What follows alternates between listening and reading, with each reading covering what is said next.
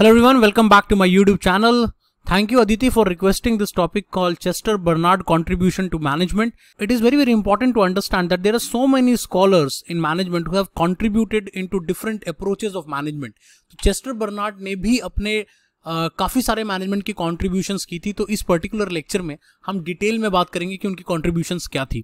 तो सबसे पहले जो पाँच कॉन्ट्रीब्यूशंस थे उनके बारे में बात करते हैं। The first one was theory of formal organisation second one was organisation equilibrium third was acceptance theory of authority fourth one function of the executive and the fifth one was informal organisation तो ये पाँच इनके contribution है management में। अब इसको हम detail में समझते हैं कि इनमें उन्होंने बेसिकली वो वो कहना क्या चाहते थे, वो मैनेजमेंट को कैसे समझते थे, उसके बारे में बात करते हैं। सबसे पहले theory of formal organisation so basically he believed in system approach वो सिस्टम अप्रोच में बिलीव करते थे। सिस्टम अप्रोच कैसे काम करता है? सिस्टम अप्रोच का मतलब होता है कि मैनेजमेंट या जो ऑर्गेनाइजेशन है, वो बेसिकली एक सिस्टम की तरह है, जिसमें बहुत सारे सब कंपोनेंट्स हैं और वो सभी सब कंपोनेंट्स अगर अपना अपना रोल सही तरीके से पूरा करेंगे तो ऑटोमेटिकली जो सिस्टम होगा वो अच्छे तरीके से रन करेगा। System is more like a machine एक मशीन की तरह वो देखते थे ऑर्गेनाइजेशन को इसमें कि हर सब सिस्टम का अपना अपना रोल है और वो इक्वली कॉन्ट्रीब्यूट करता है in the functioning of a system जो नेक्स्ट थिंग उन्होंने कही वो ये कही कि ऑर्गेनाइजेशन जो है वो कहीं ना कहीं कोऑर्डिनेटेड एक्टिविटीज़ के ऊपर डिपेंडेंट है and therefore it becomes more like a system यहाँ पे क्या होता है कि जो ह्यूमन बींग्स हैं, जो इंप्लॉयज आपके काम कर रहे हैं या जो डिफरेंट डिफरेंट लोग आपके ऑर्गेनाइजेशन में काम करते हैं they all have some activity उनके पास कोई ना कोई एक्टिविटी तो है जो वो परफॉर्म करते हैं।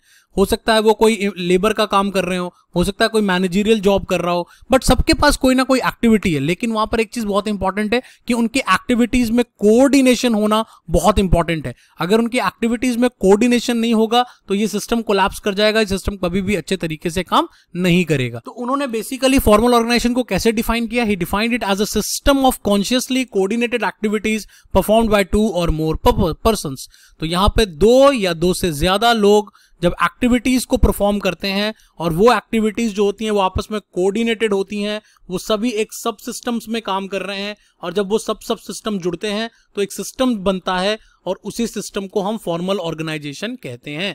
तो आई होप कि आपको ये पहला कॉन्ट्रीब्यूशन समझ में आ गया होगा। He believed in system approach of organisation इसके अलावा जो उसने, उन्होंने एक चीज़ और यहाँ पर बताई, वो ये बताई कि ये जो पूरा बर्नार्ड की थ्योरी है, वो बेसिकली तीन एलिमेंट्स पे डिपेंड करती है। तो फ़र्स्ट एलिमेंट है willingness of the person to contribute efforts and cooperating system obviously cooperation कैसे जनरेट होता है? कोऑपरेशन तब जनरेट होता है जब सभी लोग कोऑपरेट करने के लिए तैयार होते हैं।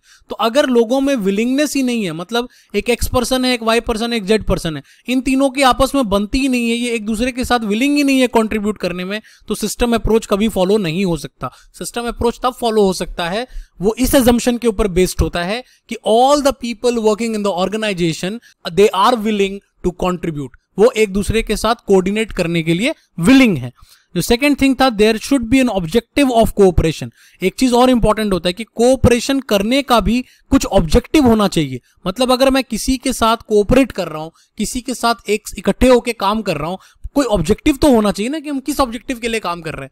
हम प्रोडक्शन को बढ़ाने के लिए काम कर रहे हैं ओवरऑल एफिशिएंसी को बढ़ाने के लिए काम कर रहे हैं तो हम अपने कम्युनिकेशन लेवल्स को बनाने, को अच्छा बनाने के लिए काम कर रहे हैं। तो ऑब्जेक्टिव होना बहुत इंपॉर्टेंट है, जो सेकंड एजम्पन था फॉर्मल ऑर्गेनाइजेशन का। और third assumption was proper communication system should be very very necessary obviously बात है कोऑर्डिनेशन का जो कोर एलिमेंट है, वो क्या है? कम्युनिकेशन अगर दो तीन लोगों के बीच में कोऑर्डिनेशन होना इंपॉर्टेंट है तो वो कोऑर्डिनेशन कैसे बनता है? कम्युनिकेशन से. जब वो आपस में बातें, बात करते हैं, जब आपस में शेयर करते हैं अपने नॉलेज को, अपने एक्सपीरियंस को, अपने काम करने की एक्टिविटीज़ को तो वहाँ से आपका सिस्टम अप्रोच बढ़िया बनता है, एक फॉर्मल ऑर्गेनाइजेशन एक अच्छे तरीके से रन कर सकता है। तो ये तीनों एजम्पन्स इंपॉर्टेंट हैं, ये तीनों एलिमेंट्स इंपॉर्टेंट है for formal organisation let's come down to the second contribution and that is called organisation equilibrium अब ऑर्गेनाइजेशन इक्लुब्रियम को उन्होंने ऐसे डिफाइन किया that it is the balance between the contribution of the members of the organisation and return contribution made by the organisation to fulfil the private goals of the member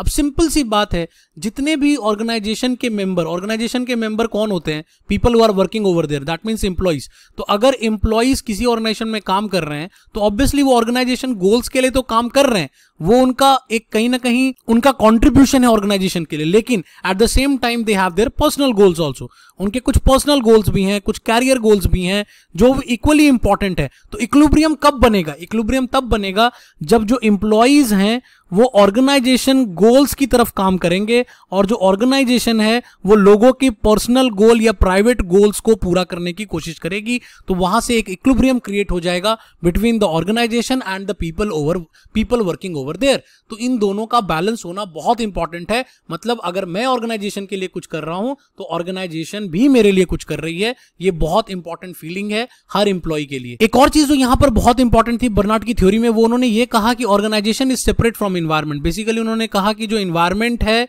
वो अलग है और जो organisation है, वो अलग है। हो सकता है आज के लिए ये बात उतनी ज़्यादा एप्लीकेबल ना हो because most of the organization are definitely affected by environment and environment is very dynamic also. But in the early days, most of the theorists, they believe that environment का ऑर्गेनाइजेशन पे कोई effect नहीं पड़ता। Organisation जैसे चल रही है, वैसे चलती रहती है। ऑर्गेनाइजेशन का कोई इतना ज़्यादा रोल या सिचुएशन का कोई इतना ज़्यादा रोल ऑर्गेनाइजेशन के वर्किंग पे नहीं डालता। Another contribution from Barnard was that most of the people working in in organisation has roles their personal role and their organisation role obviously जिसको हम आज के डेट में वर्क लाइफ बैलेंस कहते हैं that means most of the people working in this organisation they have to work for organisation goals also but at the same time they have to be part of their own personal life their own social gathering their own family और उन दोनों role को उन्हें equally अच्छे तरीके से play करना है। तो इक्लिब्रियम को एक नटशेल में समझने की कोशिश करते हैं कि इक्विलिब्रियम है क्या? इक्लिब्रियम क्या है? It's a balance between what employee get out of the organisation organisation से आपको क्या मिल सकता है? आपको पैसे मिलते हैं सैलरी के टर्म्स में, आपको स्टेटस मिलता है, आपको रिकॉग्निशन मिलता है। And at the same time what they contribute in forms of time knowledge discomfort and production अब डिस्कम्फर्ट यहाँ पे क्यों आता है? क्योंकि हर काम को करने के लिए कुछ तकलीफ़ झेलनी पड़ती है, कुछ तकलीफ़ लेनी पड़ती है, कुछ पेन लेना पड़ता है। तो वो जो हम पेन ले रहे हैं, वो जो हम काम कर रहे हैं ऑर्गेनाइजेशन के, उसके बदले में क्या ऑर्गेनाइजेशन हमें रिकॉग्नाइज कर रही है? क्या हमारे एफर्ट्स को सैलरी के टर्म्स में सही तरह से पे कर रही है तो अगर ये दोनों तरफ़ का बैलेंस सही बन जाता है तो एक अच्छा ऑर्गेनाइजेशन इक्विलिब्रियम बनता है। So the third contribution of Chester Barnard was acceptance theory of authority सबसे पहली चीज़ जो यहाँ पे समझने की बात होगी कि बर्नार्ड ने सबसे पहले ये कहा कि he doesn't believed in the classical concept of theory classical concept of authority क्या था? क्लासिकल कंसेप्ट था कि अथॉरिटी हमेशा टॉप टू बॉटम आती है। मतलब जो लोग ऊपर हैं, उनके पास अथॉरिटी होती है, नीचे वाले लोगों के पास कोई अथॉरिटी नहीं होती। They are just accountable for their work उनके पास अथॉरिटी कुछ नहीं होता। तो उन्होंने आर्ग्यू करके क्या कहा? उन्होंने आर्ग्यू करके ये कहा कि अथॉरिटी हमेशा बॉटम से ऊपर की तरफ़ बढ़ती है। अब आप सोचेंगे बॉटम से ऊपर की तरफ़ कैसे बढ़ती है? बॉटम से ऊपर इसलिए बढ़ती है क्योंकि जिन पर आप अथॉरिटी दिखा रहे हैं, जो लोग यहाँ पर काम कर रहे हैं, नीचे वाले लेवल पे, या इसके नीचे वाले लेवल पे, या इसके ऊपर वाले लेवल पे जैसे जैसे लोग हिरारकी में बढ़ रहे हैं ऊपर तो जो लोग जिन पर आप अपनी अथॉरिटी चला रहे हैं, वो लोग अगर आपकी अथॉरिटी को एक्सेप्ट ही नहीं करेंगे। कोई आपकी अथॉरिटी को मानेगा ही नहीं तो आपकी अथॉरिटी की कोई वैल्यू नहीं है। डजेंट होल्ड एनी एग्जिस्टेंस आपकी अथॉरिटी के चलने के लिए पहले अथॉरिटी को लोगों को एक्सेप्ट करना पड़ेगा। जब लोग एक्सेप्ट कर लेते हैं कि हाँ ये पर्सन ऑथराइज्ड है या ये पर्सन के पास अथॉरिटी है कि ये मुझे ऑर्डर दे सकता है और मुझे इसकी बात माननी पड़ेगी तो उस सिचुएशन में आपके पास अथॉरिटी आती है। अदरवाइज़ आपके पास कोई अथॉरिटी नहीं है। You don't have any authority that's why it is always from bottom to up rather than top to bottom as per Chester Bernard. So, in that situation, disobedience means अगर कोई person आपकी बात को नहीं मानता है is just denial of authority. तो अगर कोई आपकी बात नहीं मानता और कहता मैं इस पर्सन की अथॉरिटी को नहीं मानता तो वो कहीं ना कहीं डिनाइल ऑफ़ अथॉरिटी है। मतलब मैं आपकी बात नहीं मानूँगा। तो इन अ सिंपल वे अगर हम इसको नटशेल करें तो बर्नार्ड का व्यू क्या था अथॉरिटी को लेके? The view was if the subordinate does not accept his manager's authority it does not exist that means authority is always from bottom अगर कोई इंप्लॉय अपने मैनेजमेंट मैनेजर की बात को नहीं मानता या उसकी अथॉरिटी को मना कर देता है एक्सेप्ट नहीं करता, इसका मतलब वो अथॉरिटी कभी एग्जिस्ट करती ही नहीं थी, वो अथॉरिटी कभी थी ही नहीं, क्योंकि अगर अथॉरिटी होती तो लोग आपकी बात को मानते। तो authority is all about acceptance acceptance से अथॉरिटी जुड़ी हुई है, ये उनका थर्ड कॉन्ट्रीब्यूशन था।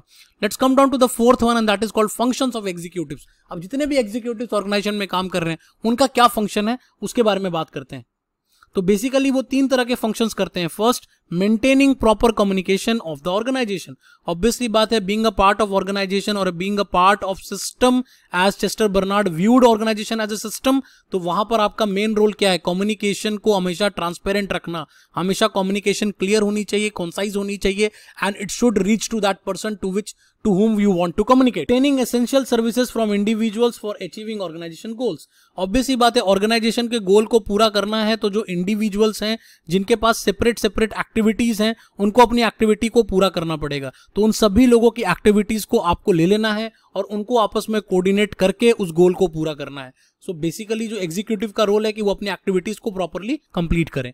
Third is formulating purpose and objective at all level बिना ऑब्जेक्टिव के ऑर्गेनाइजेशन डायरेक्शन लेस हो जाती है तो every organisation must have goals and objective that must be communicated to each level her level को properly आप communicate करें so so that सबको पता हो कि हम किस गोल के लिए काम कर रहे हैं।